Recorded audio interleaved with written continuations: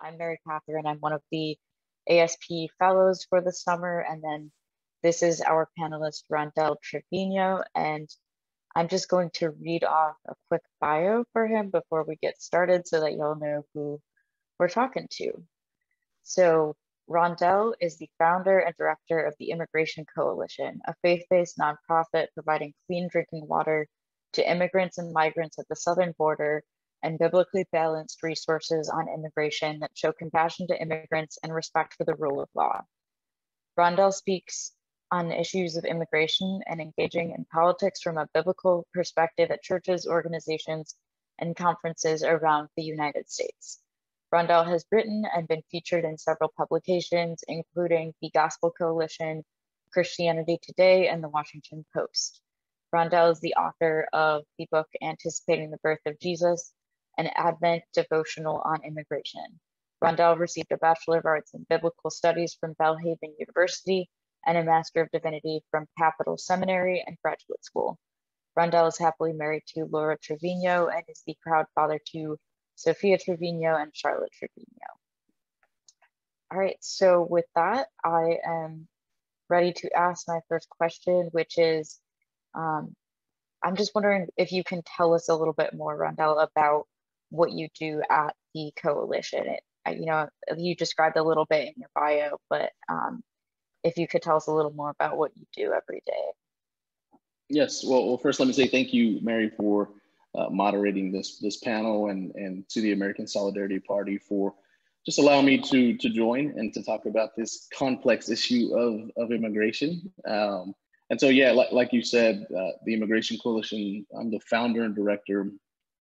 We provide clean drinking water um, to Latino, immigrant, migrant, and asylum seeking communities along the southern border. Um, along the southern border, there are around 13 million plus Latinos, immigrants, migrants, and asylum seekers living on both sides of the border, uh, living in what in Spanish is called colonia, which is neighborhood in Spanish.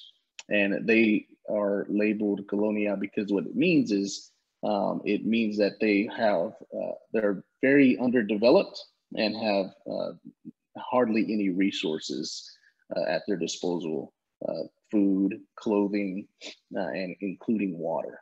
And so, as an organization, we believe in calling our representatives, uh, talking about the need for immigration reform, uh, and but at the same time, we also believe we can get a little bit more involved when it comes to practical needs that need to be met for these amazing people along the border. And so, we have really uh, restructure our organization actually a year ago on what how can we lead with uh, water? How can we lead with providing food uh, for these communities on a consistent basis uh, so that we can gather progressives conservatives whoever may be um, to to come partner with us to love and care for uh, latinos immigrants migrants and asylum seekers along the border. And so we're doing that work currently we're in five communities along the border. Uh, we're, we're currently doing a lot of work in Reynosa, Mexico, as there are 2,000 plus asylum seekers living in tents in a plaza there. Uh, and we're providing a meal every day for around a thousand plus uh, asylum seekers and providing water uh, for the entire community um, every uh, single day. And so uh, it's been a it's been a huge blessing for me just to be a part of the work that we're, we're doing. And um, yeah we're, the, the work is always needed. There's always another community. And so we're just trying our best to um, steward uh, what we have to care for those in need. Awesome. Thank you. Um, something that uh, i was looking at on the website and then you were talking about like the different areas that you serve and um, i saw that a lot of them are like border communities between texas and mexico and then um, the city of West, Los Guatalas uh, in mm-hmm. El Salvador. So, um, what is it about those four cities specifically? And is it um, there specifically um, have a lack of water, uh, or is it just um, what was what was the development behind those different cities that y'all serve? Yeah, um, we oftentimes get uh, a lot of emails and uh, uh, you know phone calls from communities in need. um, around the, and along the border. And so um, we we strategically as a team uh, pick these these communities um, so that we can help them create some kind of long-term sustainability in their communities. Um, one of the strategic things we do at the Immigration Coalition is we don't go into a community and say, "Hey, we're the Immigration Coalition. Here's how you need to do things." we that, that's just terrible approach when it comes to caring for a community. We go into the community after they have reached out and we build relationship for months um, and we identify key leaders, maybe a church pastor or leader, um, maybe just a spiritual community leader that been that has been there for years, and uh, because they have trust in that community, we're able to come alongside and say, how can we better help this community with clean water and food? And it allows us going forward to to to build that relationship and um, to allow us, again, like many people on the ground that we're serving, they know about the Immigration Coalition, but they primarily know about the leaders who have been there for years. Um, and so it allows them to trust what we're doing even more um, so that we can create a long-term uh, approach to caring, to caring for them. Uh, we identified these communities because we felt that that was those were the communities that we wanted to be in partnership with long term and to serve with long term. Um, and passionately, we're, we're, we care about Latinos and immigrants and migrants and asylum seeking communities. Um, the problem is I, I can't say yes to every community, but as we continue to grow, we want to continue to do that work. And then when it comes to El Salvador, um, you know, sometimes there's communities that they might feel like they're forced to come to the US to, to seek asylum and make that strenuous journey um, because one, the U.S. embassy takes forever to, to to get back to them when they try to request asylum, and so they want to take that strenuous journey. Or sometimes it's because they don't have food or clean water, and so we identified 12 colonia communities around each other, and we said, what if we built a well? But not only built the well, what does it look like for us to equip the well to have piping and plumbing that goes into every single home in these communities where they have access to clean water at their disposal? And so we're actually trying to invest even in the economy of those countries like El Salvador. Um, so folks who were otherwise felt forced to leave can say, oh, I actually can have a better opportunity to maybe stay because, because we now have clean drinking water. And so we're trying to do both and work. How do we care for those who are coming and feeling like they're fleeing persecution, pain, strife, uh, a lack of security, and those who are like, well, um, I could stay if I had clean water. How do we do that? and how do we care for them? And I think building the well uh, and, and providing food in those countries is also a benefit as well. Yeah, for sure. I remember um, recently I had to carry a bucket of water a few feet and I realized it was maybe five gallons that I realized like two steps and I couldn't carry the whole thing. And it's because it, I mean, just thinking about transportation of it's, it's so heavy. It's a very dense sort of substance, but it's the most vital substance on earth, you know? And so mm-hmm. um, I can understand why piping and plumbing would be a reason for people to stay, you know, even if even if a lot of other things are going wrong, at least having it's, water. Yeah. Especially for pregnant mothers, elderly in the community. I mean, you have you have you can build a well, but if it's if it's three or four miles away from a community, then they're not going to have a, an opportunity like a younger family might have to access clean water. And so we invested a little bit more of our funds to say, how can we fully equip it um, holistically so that they can have access to water in their own community and home? Um, and and how can we, you know, we just actually just had the the ceremony yesterday of and ribbon cutting of like, you know, it's it's ready to go for the community yesterday, and and it was awesome. And so our hope is that we can continue to do that in many ways. And I think it dabbles and, and touches on immigration in, in many ways. Uh, people leave, those, leave their home countries because of security and a lack of opportunity. Those are the two economic opportunity. Those are the two biggest reasons I believe they, they seek asylum um, and, and make that strenuous journey. So for those who do want to stay and we can maybe make it a little bit better for them to access a, li- a normal life, we want to do that. And at the same time, those who feel like they have to come, they can come and they have a right to seek asylum at the US Mexico border, and we'll be there to care for them too.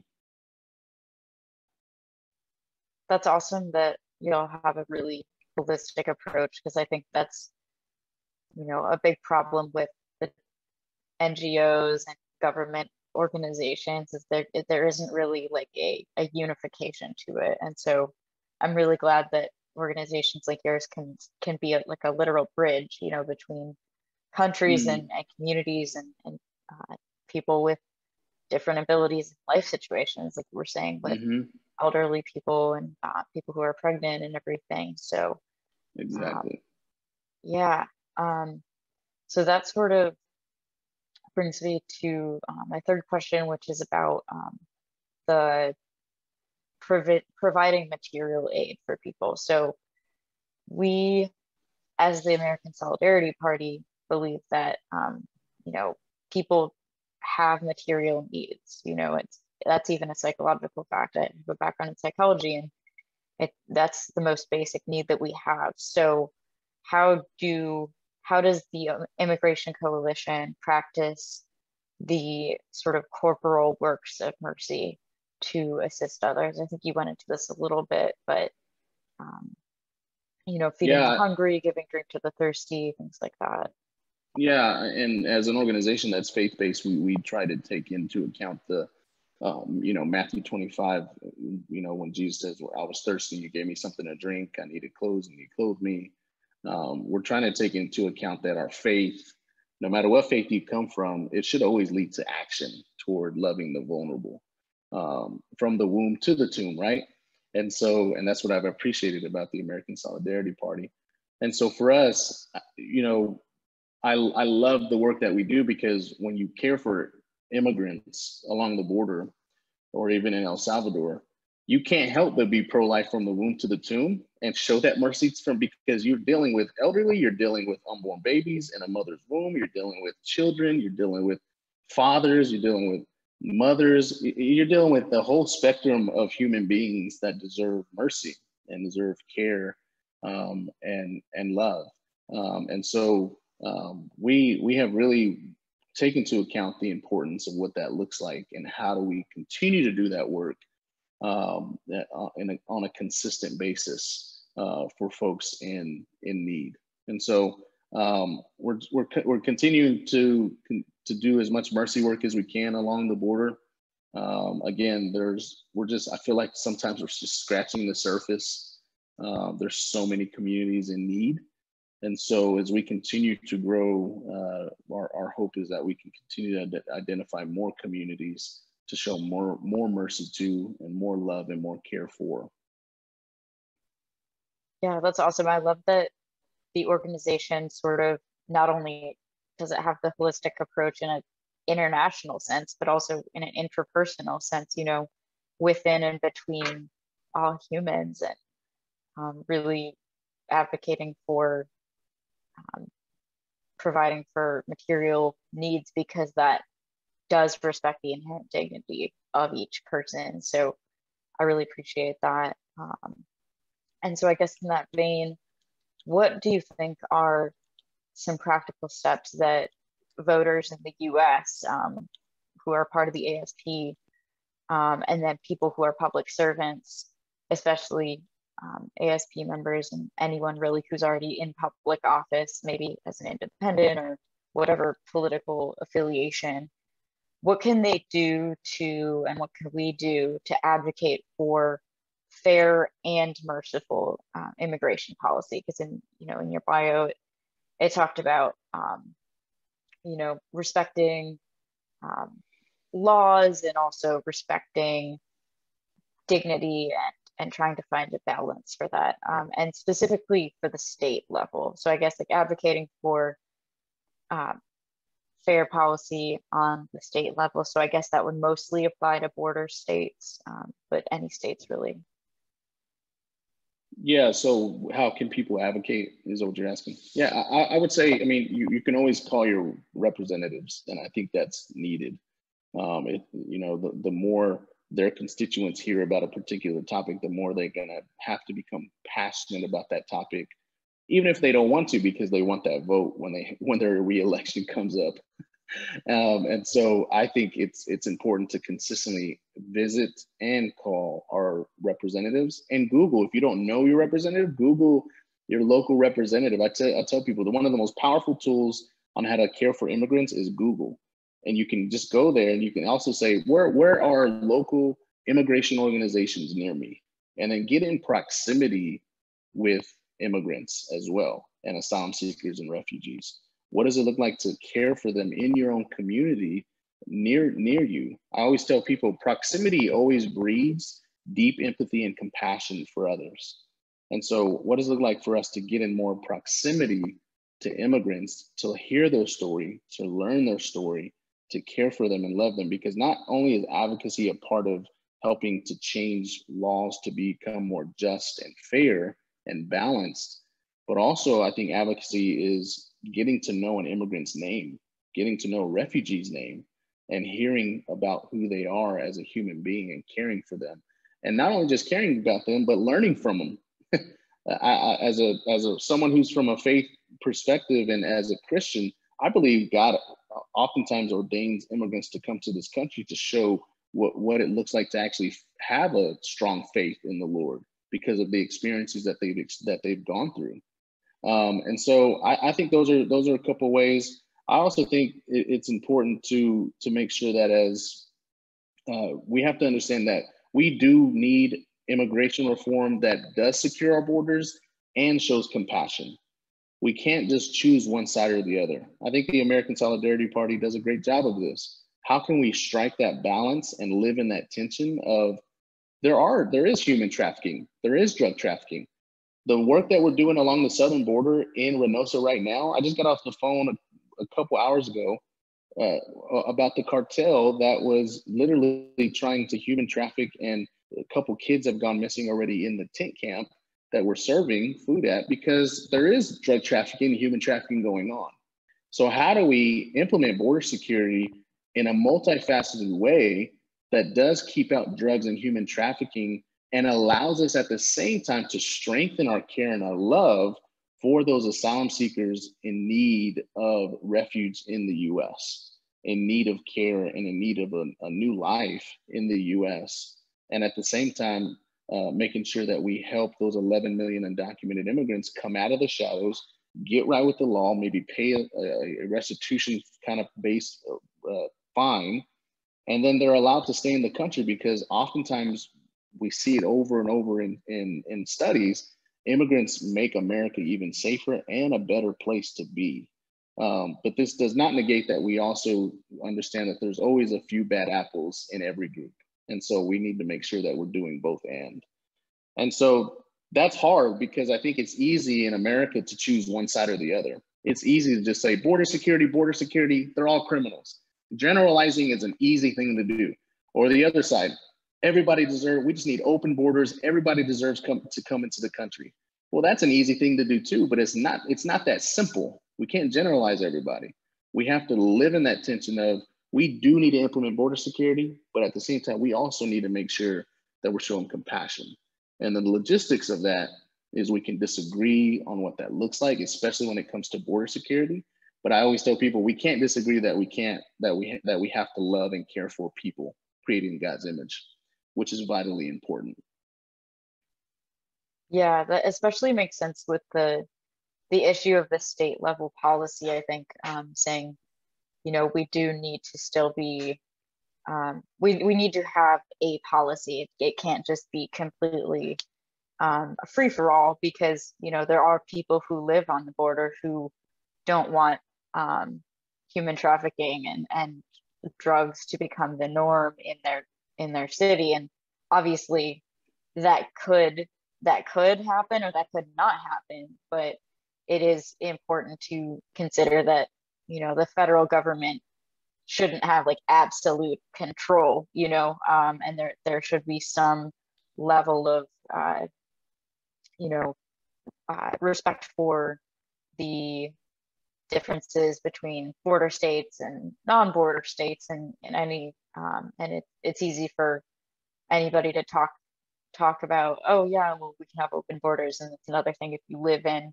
one of those areas, you know, and, and you have your own people to to look out for, and you don't you know want some sort of um, crime to happen. But then at the same time, like you were saying, um, I was reading statistics that you know um, undocumented immigrants have some of the lowest crime rates, um, and yes. it's even lower than America, you know, than um, citizens, you know, U.S. citizens yep. and legal immigrants actually as well. It's their their crime rate is lower, and so exactly it is. Um, it's a really um, difficult topic to grapple with. Um, I also appreciated what you said about, um, you know, the the proximity because that really ties into um, in Catholic social teaching, and uh, which uh, the ASP talks a lot about with subsidiarity, where you're you're really reaching out to your your local community first.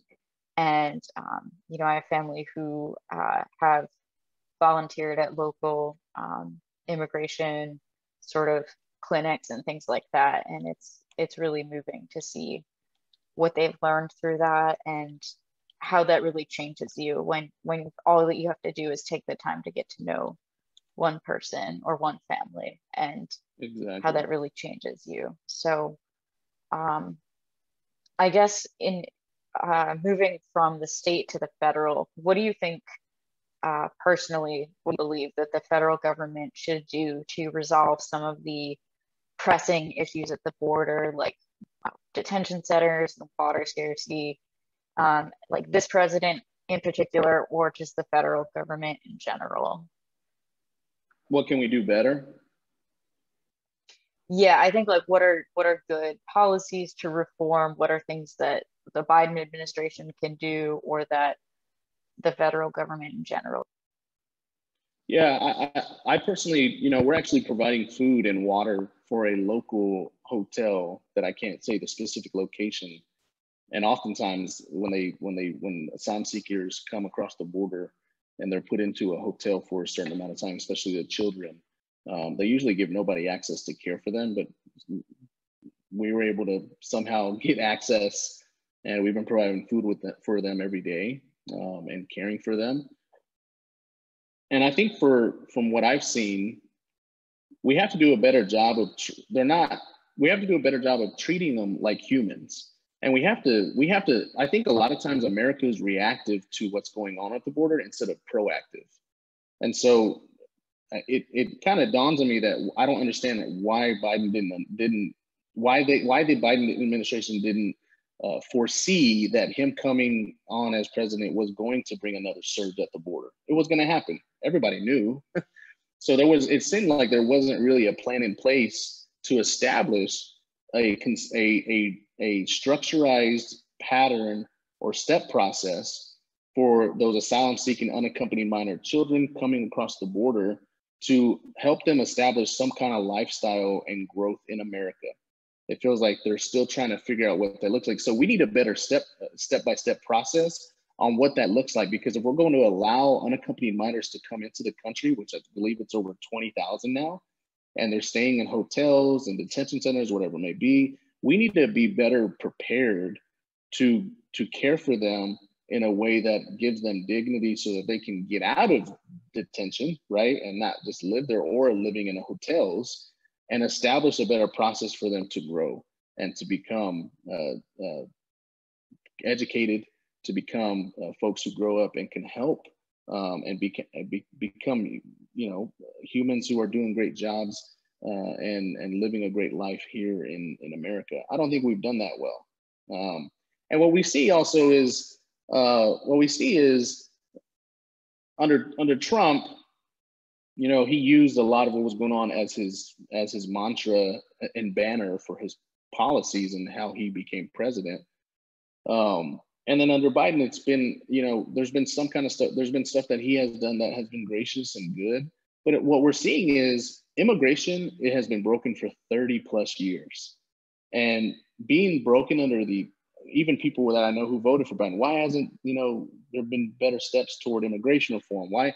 It's because every for years and years, even before Trump, it has become this complex, tangled ball of yarn, immigration, that they cannot untangle. And the only way to do that is not in four years, it's not in eight years. It's over a time of consistency with these, with whether Republican or Democrat, trying to unravel what has what what administrations have put together over time that has dehumanized people and has dehumanized immigrants and refugees and and asylum seekers. And that's what we're seeing under the biden administration. They're doing some good but what we're seeing is there's there's there's still issues going on and there's still surge going on at the border and it's not consistent and there's there there needs to be a change in what that looks like.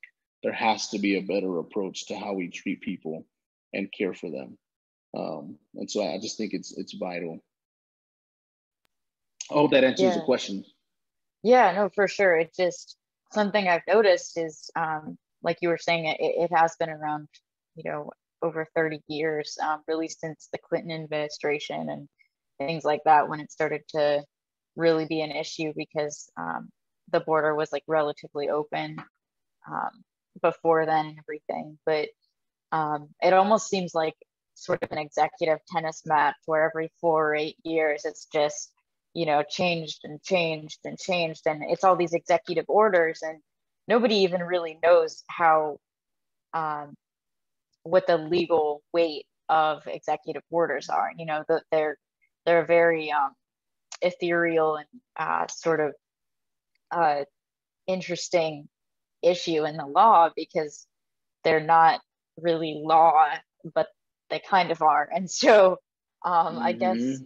with that, it seems like it, it needs to be a change, not only in like executive laws, but also just in the American legal code in general of, of how we deal with it because Otherwise, it's just every four or eight years, it's going to change so much that there's never going to be any stability. Um, and it, it seems and, like it needs to be sort of a collaboration.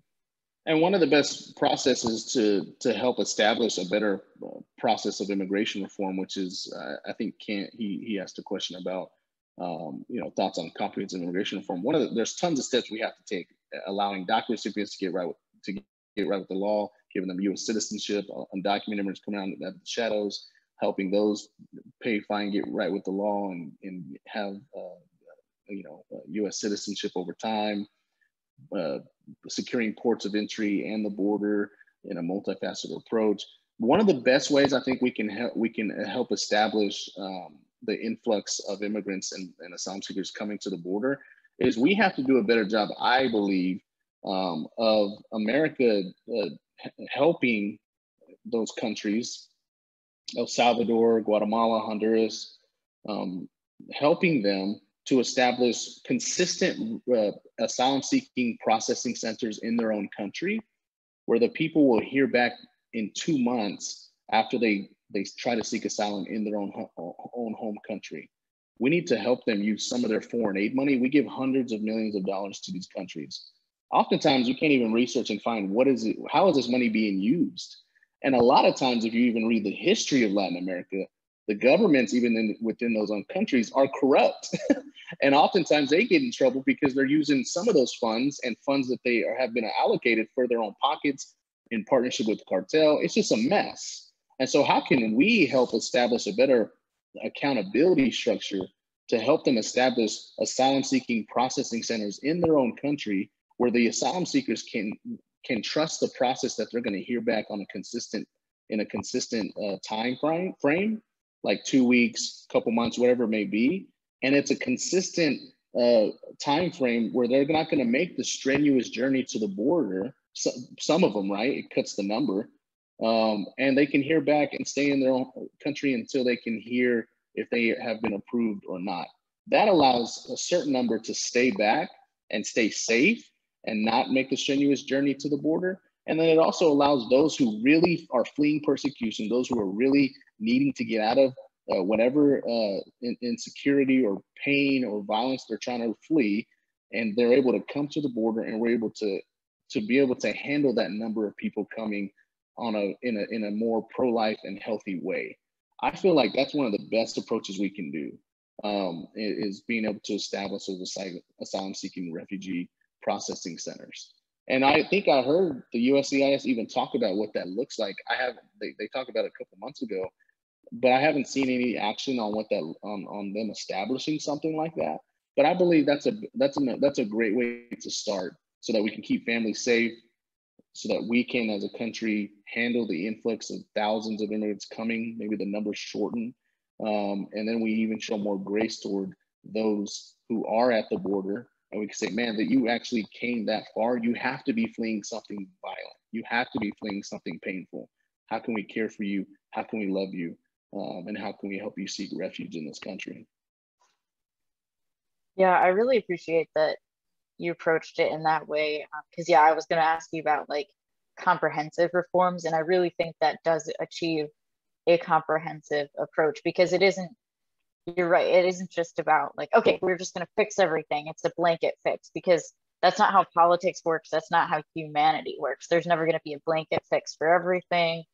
And especially in a, a two party system, you know, there's never going to be something that really pleases everyone. And so I love that that's like a proposal of yours is, you know, trying to fix what we can and reduce the number of people who need, you know, that in the first place so that there is more room freed up, so to speak. Not that not that it's zero sum game really, but um, that yeah, you get you do it is something that we can then sort through in a more orderly manner. It's not you know it's not as much a um, so so overwhelming to um, any government system that um, that they just you know say an all out rejection like we're just closing we're just shutting everything down you know um, and so yeah I, I really appreciate that's that it's like Kent just said uh, it's good that there Kent said are there are there members of Congress agreeable to work on this right now and one of the biggest reasons why immigration reform won't get passed unborn babies aren't protected the way they should be. Even pregnant mothers are, seen as evil, terrible people when they're contemplating abortion, when they need more social programs to care for them and love them, is because we have a problem in Washington. We have a political party pro- problem. The two party system is jacked up. And that's why you're seeing so many people and the American Solidarity Party growing because you people are tired of the two party system because nothing's getting done and instead of working together in Washington, both Congress, Republican senators on both sides of the aisle, they're just jawing at each other and pointing fingers. And you see that often. I mean, we saw that in January, February, March when when uh, when the children were coming to the border and company children, and all those Republican senators went to act and call out President Biden as if he was horrible and evil. And even though I agree that it was wrong that that there has been they have been detained in, in some places that aren't healthy, it sounded so hypocritical because they were also praising President Trump for establishing family separation during their tenure. And so I always tell people political allegiance is blinding. And that's what has been happening for so many years. People have put place their identity and hope in these two political parties and congressmen and senators. It feels like they're not doing anything enough to get something right to compromise and work together for the people of America and um, immigrants. They're just looking out for themselves, their votes, and their party. And that's why you see people like myself become politically homeless, people who are saying I'm politically agnostic, people were saying I'm going to the American Solidarity Party because they're the most uh, pro-life from the womb to the tomb party. And that's what I think is so important and good about what's happening with the American Solidarity Party is there's there's there's starting to be a little nudge in this I think there's more people out there who are more pro-life from the womb to the tomb and tired of the two-party system. And I think this has a great way to continue to grow so that we can help knock down doors and make Congress and senators actually work together. That's my rant.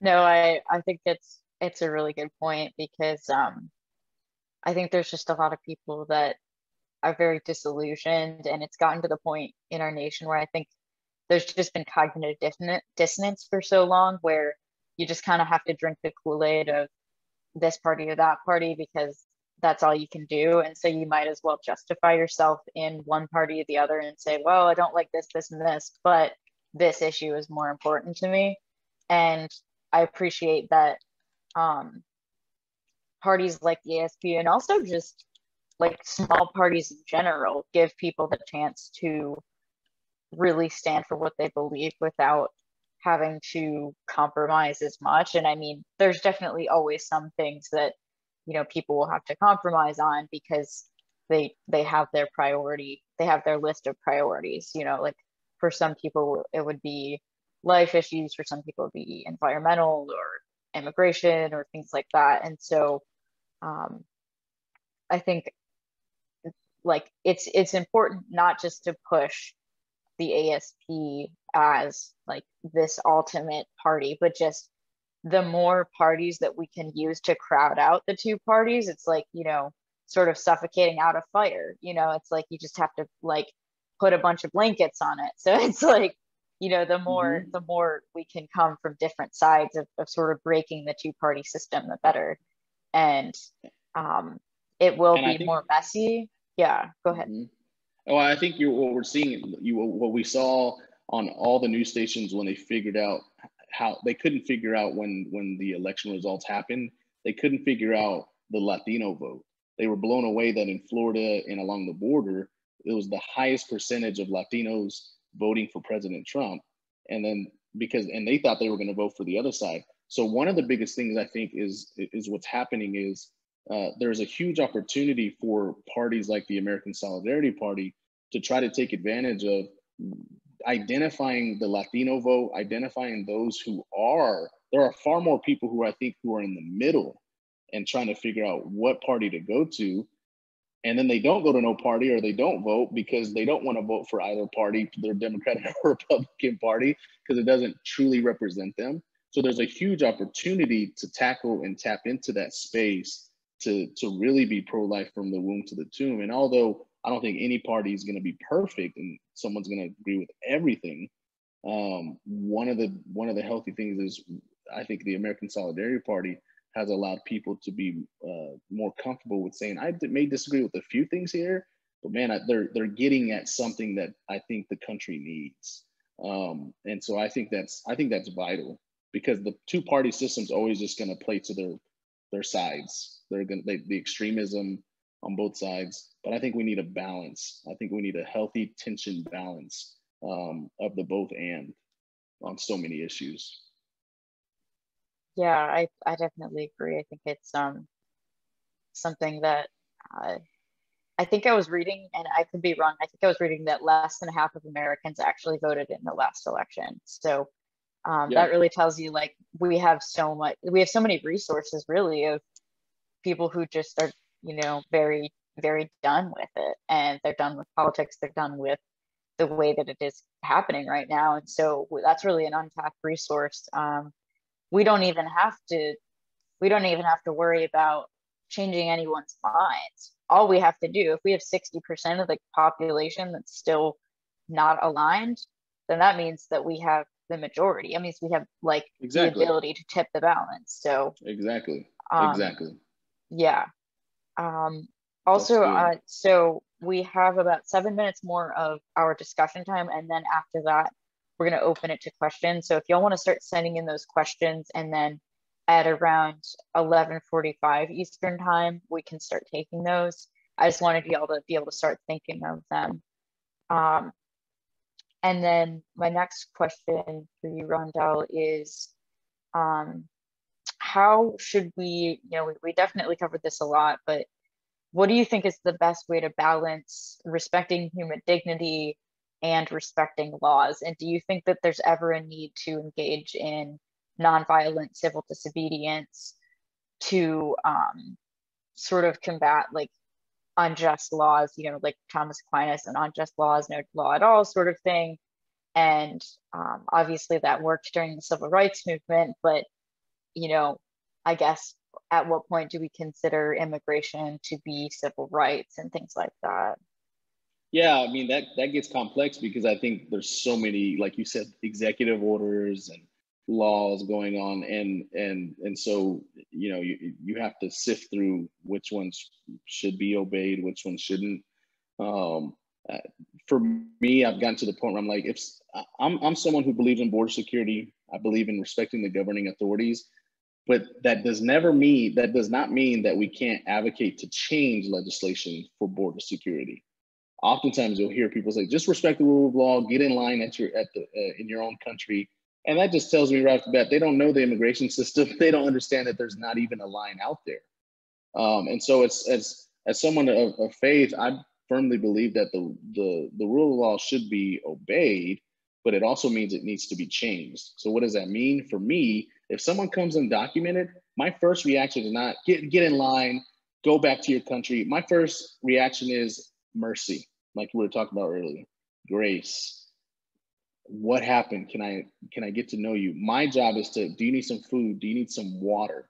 And then maybe we can figure this out and see them as human beings because oftentimes people people love the law so much and believe every law should be obeyed even if they're unjust that they'll see those who do come undocumented and they'll see them as criminals and evil people. And they literally will think the uh, an offense of coming across the border the first time is literally a federal crime when it's not. It's a misdemeanor. It's as if like i was gonna when i drive out of here and i i stop for one second at the stop sign instead of three seconds and i get stopped by the cop. I'm not gonna go to jail. I'm not gonna go to prison and, and my wife and people are not gonna see me as an evil person who's a who's a crazy criminal and so i think our understanding of the law needs to be reformed and deformed in many ways um, and so I think I think it's important that we do have border security. But what I when I tell people that I, what I mean is we need to we need to change the laws. It needs to be more fair at the border. We have to do that because what's happening at the border with so many families and human trafficking and drug trafficking, it's so messy. It's just showing that we do need border security. But at the same time, we need to make sure that we're showing compassion and love. I think when we have a healthy approach to border security, a multi, I always say multifaceted approach because I believe there's a multifaceted approach with technology and ports of entry, technology along the border, augmented barriers that need to be restructured and changed. I think there are some areas that probably need to have uh, a barrier uh, because there is human trafficking and drug trafficking going on. And I don't want asylum seekers to be brought into the country, trafficked, and drugs brought into the country where they can hurt Americans. Um, and so w- with that, we I think when we do that, that, we're able to show compassion to a mother and who has who's pregnant with a child, and when we're protecting our country, we can easily say that this person is a human being who deserves refuge. How is this person going to be a, a, terrible person who is going to hurt my country? They need refuge and care and love. Um, and so I think that's a huge way for us. So we as we as people, and I think the American Solidarity Party would agree, we have to establish border security and we have to learn how to show compassion. So we have to start with those conversations. And what that means is we need to be willing to compromise and disagree. Um, but I think I think we can get there if we're willing to have those healthy conversations uh, when it comes to doing both and. And I think it's healthy. We need it, and it would help America. So my, that's that's my hope, right? That's my hope. And while we're doing that, my organization we want to provide food and water and clothing and whatever is needed in the meantime. I think that's a great way to approach it, you know, because uh, we can we can talk politics all day. You know, at the end of the day, politics is about human beings, and, and the government is created to serve human beings. It's created to sort of be a um, you know what it's it's supposed to protect and advocate for and, and it's not the other way around it's not people you know bowing to the almighty government it's you know it's it's a uh, it's a both and situation so um, that can kind of bring us into one of our q and a's um, which is uh, i'm probably not saying this right but Mer- merhawi tafai tesfai um, do you think that we can work to make sure that entering this country without documents can at the very least become a minor infraction and not a felony? Yeah, I think that's important. I, I think, like I said earlier, when someone comes the first time without documents and gets gets caught, uh, which oftentimes what I've noticed is asylum seekers who do come across the border, what they do is oftentimes they go straight to border patrol and they go to the, the closest police station. They don't want to come undocumented. They really want to seek refuge so they could be here documented. So that's a that's a, an assumption when people think that they just come here and just avoid you know police and they actually want to get caught so they can actually uh, have a process to stay here safely. Um, I would say that we do. I think there is a way that we can do that. I think what we need to do is we have we need to have a better relationship with these countries to have a background information on on people who come undocumented. And so if someone does come undocumented, I think based on their back history in a country, so let's say it's a it's a guy who there's been a couple stories where someone has smuggled a kid, come to the border, acted like they're his they're their dad, um, but they're actually drug trafficking, human trafficking that child. Well, based on that background history and him doing that, it would I, I, believe it would need to be a felony because he does not need to human traffic and bring a kid like that. And that's a crime to to do that. That's wrong. But if it was somebody who it came undocumented and it's a mother with a child and two kids and they're fleeing persecution and we look at their background history and we're able to to, to see that they're good people in their country, they're actually fleeing uh, persecution. We're able to hear their story, understand that they're really seeking and trying to uh, just have a better life in America, then it shouldn't it shouldn't even be a minor infraction. We should allow them to come in and bring them and give them refuge. And so I think it's a both and. We have to we have to be willing as a country, and that's why I think even we need better judges and better people at the border who can who can um, review folks and their um, their petitions, because we have to take every immigrant and asylum seeker um, as a as as a case by case basis everybody has a different story, everybody has a different narrative. And based on that story, narrative, and background, that's how we best apply justice to them. So, yes, we do need to do that. I think that'd be important.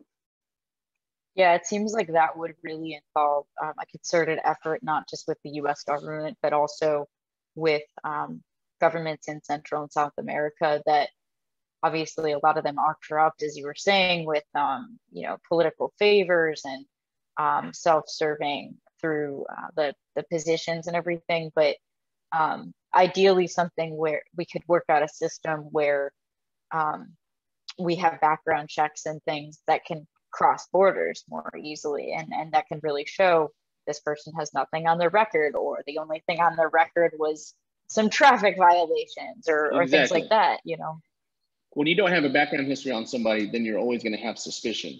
I always, then again, it goes back to the exact, I said this the other day, uh, it, you know, proximity breeds compassion and love for others.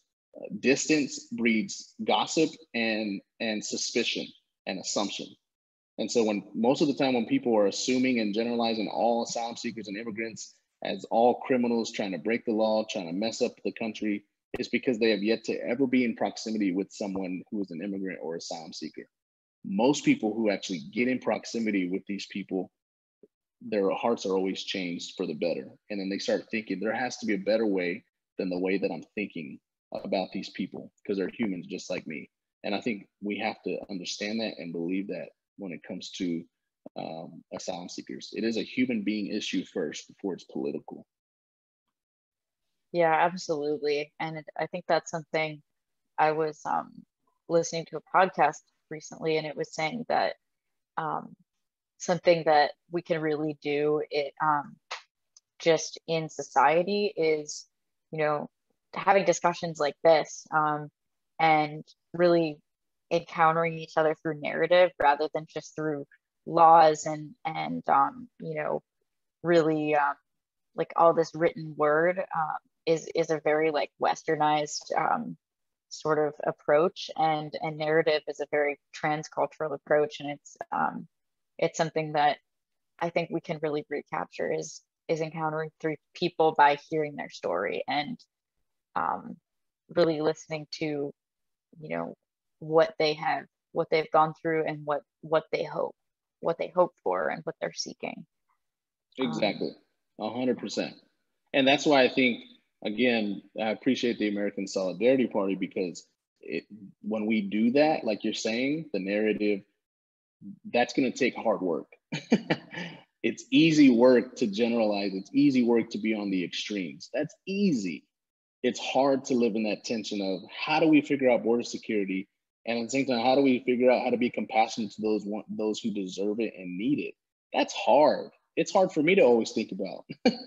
um, and in hearing their narrative, right, in their story, it takes it takes an effort on our part to really get our hands dirty and really learn um, and really being willing to, to, to listen, to compromise, to disagree, still be kind and loving to one another. And that's, that's my hope. Um, because if we ever want to fix immigration and, and have immigration reform, it's going to take those things. Absolutely. Um, are there any more questions that y'all have?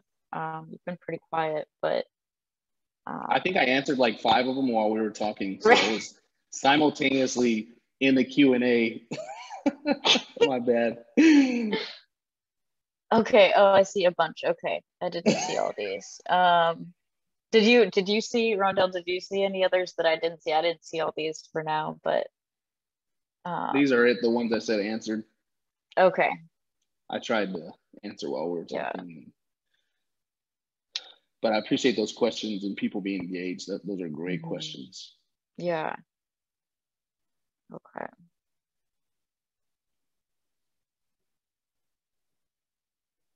Um, something that, let's see, something I was wondering is if you have, let's see, I have a few right now. Um,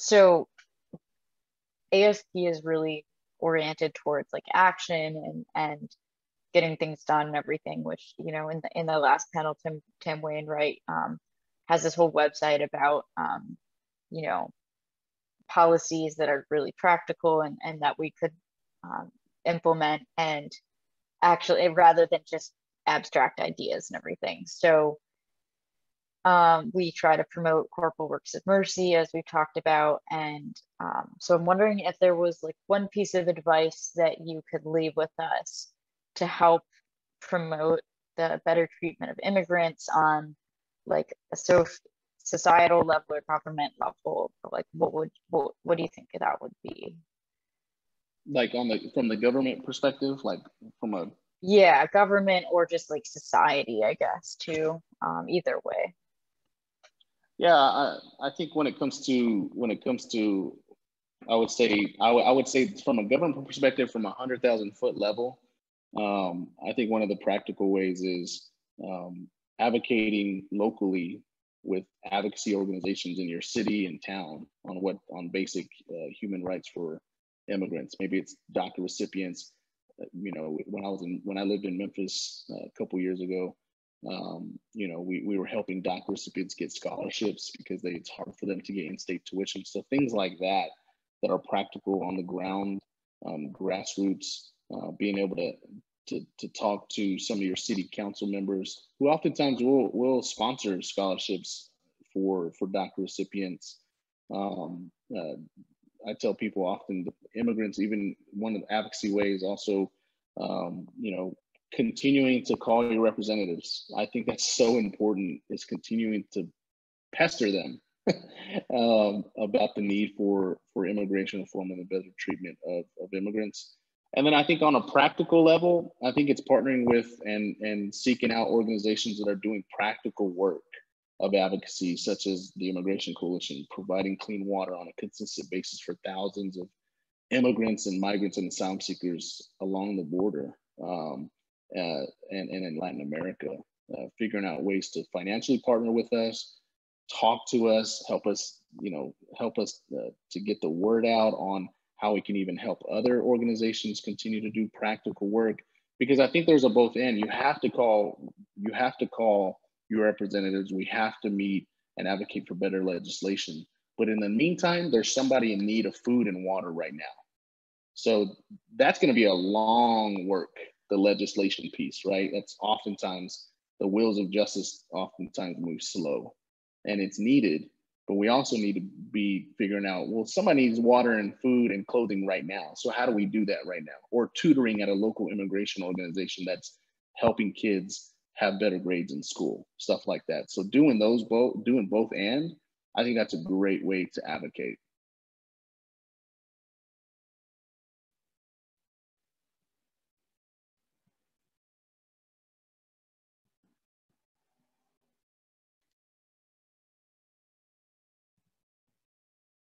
You're on mute, Mary.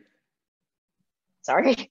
Um, no, you're okay. So yeah, no, you're good. Um, it's just I appreciate that because it, it reflects ASP principles and everything, and um, of sort of having that whole life um, approach to it with you know kids needing to get educated and everything. So um, I'm looking through the um, questions and everything, and um, I think it's interesting because uh, Dr. Hannick um, said talked about the Catholic worker movement in Houston and Casa Juan Diego. Um, I uh, went to a talk by someone from there a few years ago, and um, I think that's something that um, it would be really interesting to try and see is is having a um, sort of a network of, of similar organizations um, and trying to connect them so that between um, the US and other countries too, so that even if it's like my organization or your organization, you know, um, or this or that one, they might not necessarily have that um, mm. have that reach across. But if if we connect b- between organizations, um, that that might also be a, a help. But do you have any thoughts on that? That yeah, I mean, I think in, in other words, like networking with and being in having a network of organizations doing good work together is always important. Um, that's a that's a need because I think there's so many things that we can there's so many things to do when it comes to immigration. You can just specifically advocate for DACA recipients. You can advocate for um, you know local legislation for in-state tuition for undocumented immigrants, DACA recipients. Uh, there's so many things and focus points uh, for that I think that we can if we can all connect and be in partnership together, then we're able to help each other um, whenever our community's in need, and then rally together, right, and actually really make noise. And I, I think there's there's there's some of that going on in local areas around the around the country. Um, I haven't seen anything that has been national, but, but I would be interested to see if that could be a possibility because you can make more noise for legislation and you can make more noise to to um, you know uh, advocacy and urging Congress and senators to do things and, and, enact things legislatively that is fair and loving toward immigrants and migrants and asylum seekers. Yeah, I think that's especially important because there's you know around 11 million undocumented people and they they feel like they have no voice you know and, and, advocacy means you know like giving a voice or being a voice and everything. So um that's definitely i think something that could help with um, unifying different charitable and governmental organizations is that it it would help with um, giving a voice to people who feel like to uh, like they're not safe in speaking up for themselves or, or for one another. So um, I think that's definitely um, an unfilled need. And I like what you said too about the national on the national level, because I think that can really help with um, getting things done in Congress, you know, and and we have all these different like lobbies for different you know special interests and stuff why can't immigration be a special interest you know why can't mm-hmm. why can't um, asylum seekers and everything. So, um, and not just from, you know, um, not just from Central South America necessarily, but, you know, if, if people from all over the world, you know, united and, and said like, we need, we need this to be uh, a line item issue um, in Congress, then, then maybe that could actually happen someday. So exactly. I agree 100%. Yeah. You're right. That's good. So um, I think that's uh, about our time. Let's see, we have one more question, I think. Um, more of a statement. Okay. Yeah. Um, but yes, um, I'm sorry, Kathy, that you have to go through that.